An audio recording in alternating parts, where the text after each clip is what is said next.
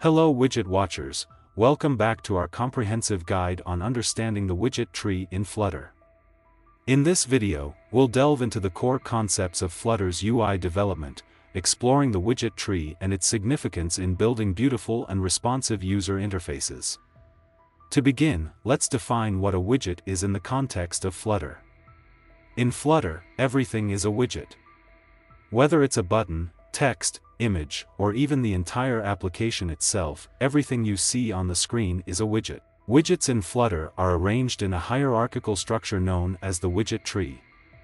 At the root of this tree is the Material App widget, which represents your entire application. From there, widgets branch out into smaller, more specialized widgets, forming a tree-like structure. Each widget in the tree has properties that define its appearance, layout, and behavior. These properties can be static or dynamic, allowing for highly customizable and responsive UIs. One of the key concepts in Flutter is the idea of composition.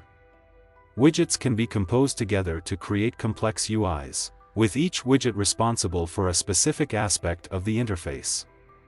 Now, let's discuss the importance of the widget tree in Flutter's rendering process. Flutter uses a reactive framework where changes to the UI are reflected by rebuilding parts of the widget tree. When a widget state changes, Flutter efficiently updates the affected parts of the widget tree and redraws the UI accordingly. This approach ensures smooth performance and allows for fast UI updates, even on complex interfaces.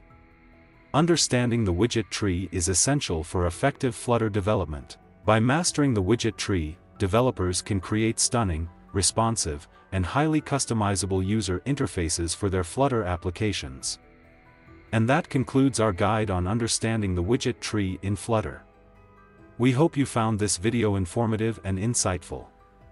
Thank you for watching.